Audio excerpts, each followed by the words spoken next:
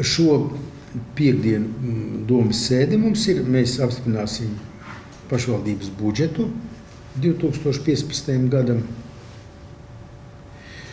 Nu, pie budžeta mēs esam strādājuši no pērnā gada augusta.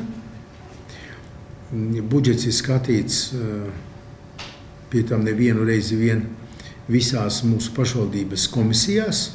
24 komisijās ir skatīts. Daudzas komisijas ir tādas, kurās skatīts ir vairāk kārt. Nu, kā var minēt, piemēram, kā kultūras, vai izglītības, vai, vai sporta, vai uh, sociālo lietu komisija nu, un tā tālāk. Mums viņas daudz tās komisijas.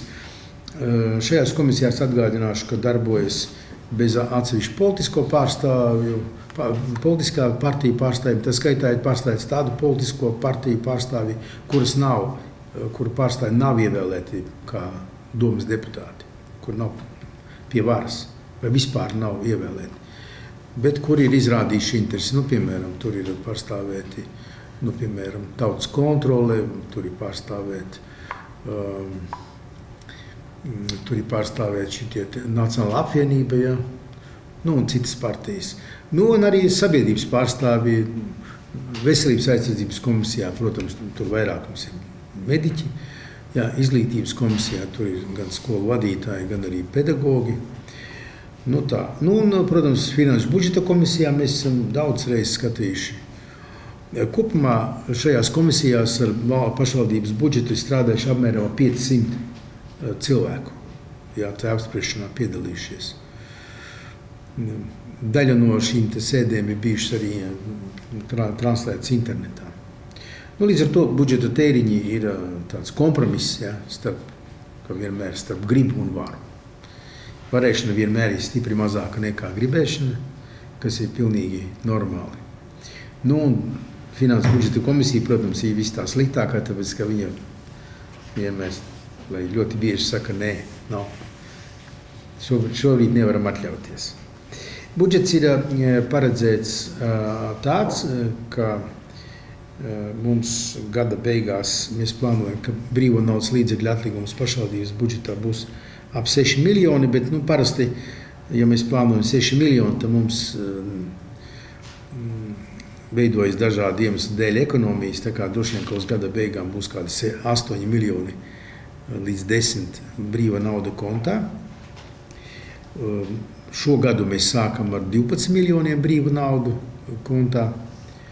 Nu, brīva nauda kontā vajadzīga, lai mums būtu tāds uh, finansiālās stabilitātes uh, spilvens. Naudu mums izvieto daudzās bankās, rēķinoties ar to, ka pat ja viena bankā bankrotē, tad mēs visu naudu nepazaudējam. Tā.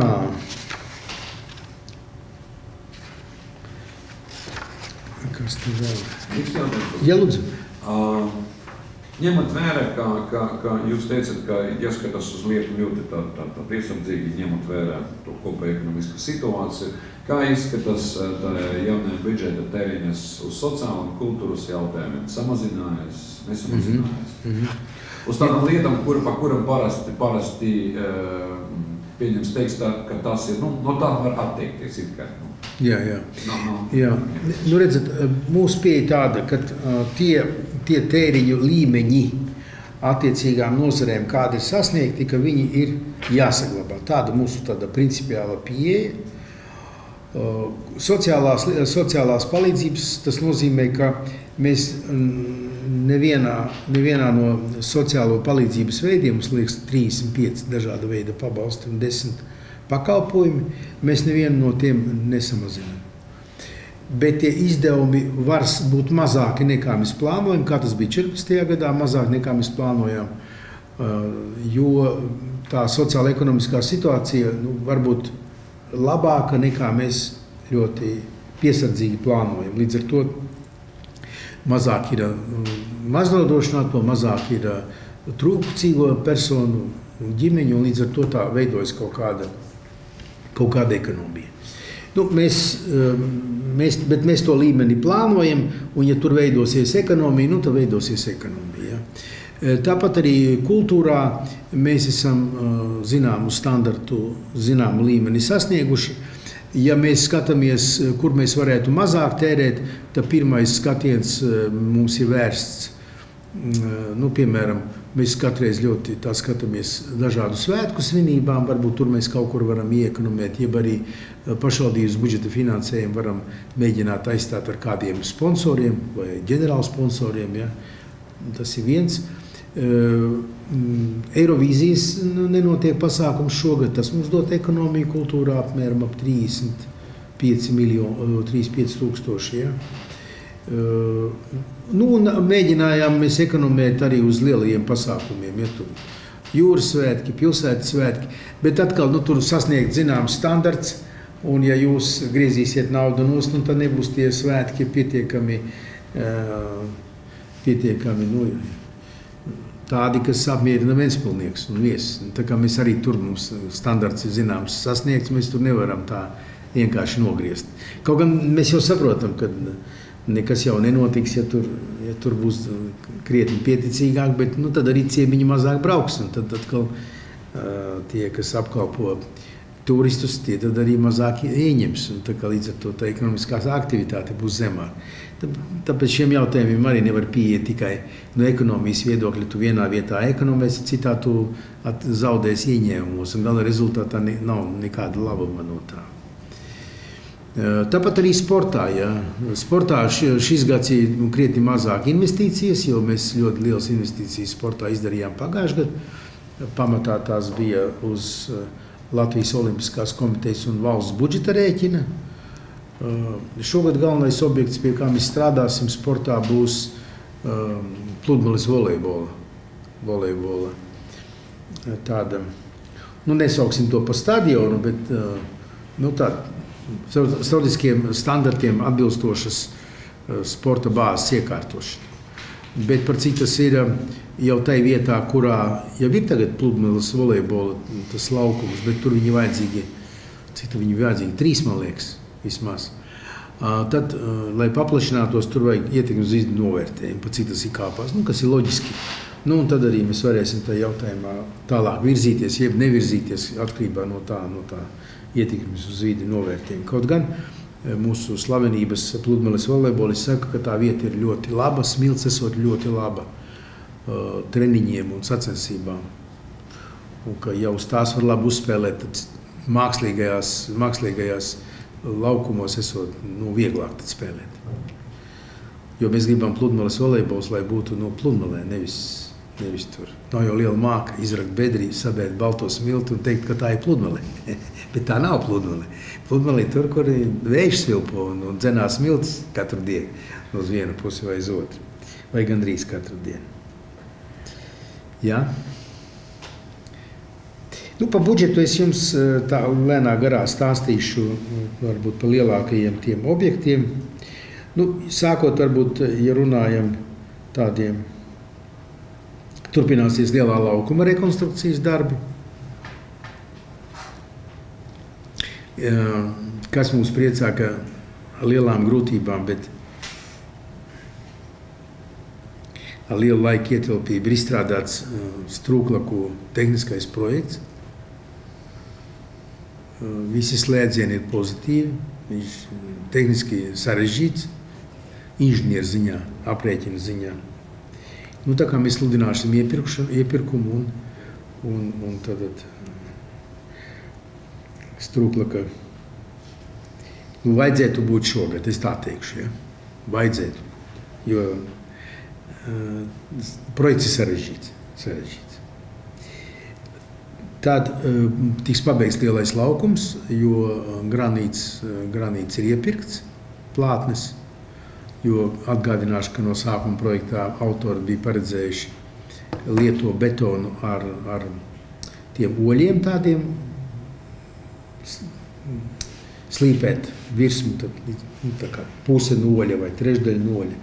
Bet, kad uztaisīja praksē, tad tas neizskatījās pārliecinoši, tāpēc mēs nolēmām nomainīt uz krietni dārgāku materiālu, granītu, bet arī tas ir nu, mūžīgs, ja tur nelaiž kaut kādu smagu tehniku vai tankiem braukt, un tad viņš kalpos ilgi un dikti.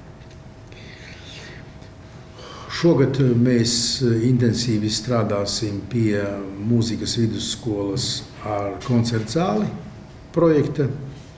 Lai arī tā ir mūzikas vidusskola, valsts mūzikas vidusskola, bet uh, tehniskā projekta izstrādāšana valstī uh, ērtāk bija iedot naudu pašvaldībai, un lai mēs to projektu vadām šajā stadijā. Mēs arī viņu skiču projektu stadijā bijām vadījuši, uh, tāpēc mēs tam piekritām un tehniskam projektam jābūt gatavam līdz septembrim. Līdz septembrim. Nu, šogad jāiekārto ir uh, tehnikums. Jācer, ka tām dažām astēm, kas palikušas ugunsdzēsības jomā, celtnieki spēs pārkāpt, un tad jāiekārto.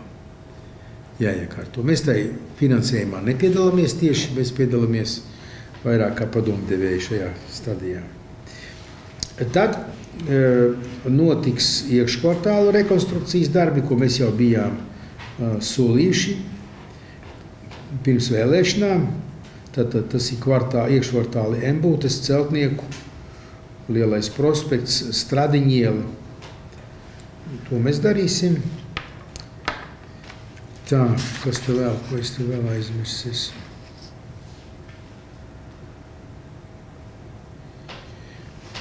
Nu, kopumā pilsētas vidas uzlabošanai šogad budžetā plānot ir uh, gandrīz 8 miljoni eiro.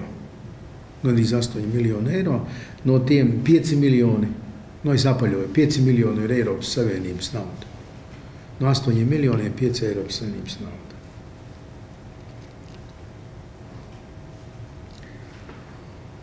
Tā, labi.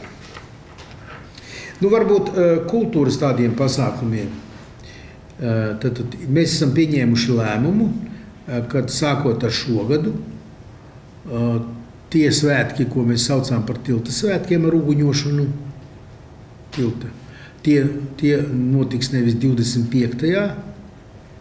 decembrī, kā bija līdz šim, bet šī uguņošana tiek pārcelt uz 18. novembri. Nu, līdz ar to mums 18. novembris, sākot ar šo gadu, būs viena no krāšņākajiem svētkiem pilsētā gada, gada garumā, konkurējot savā starpā ar pilsētas svētkiem, jaunā gada sagaidīšanu un, un 18. novembris.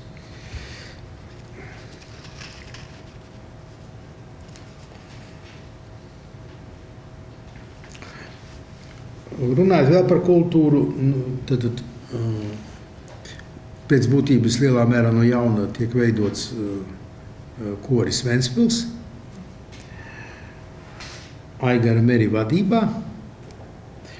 Un uh, šogad viņiem ir piešķirts finansējums, lai viņi varētu izveidot sešas oriģināla programmas. Sešas oriģināla programmas. Vēlēsim radošu veiksmi un, un panākumus kamerkorim Ventspils.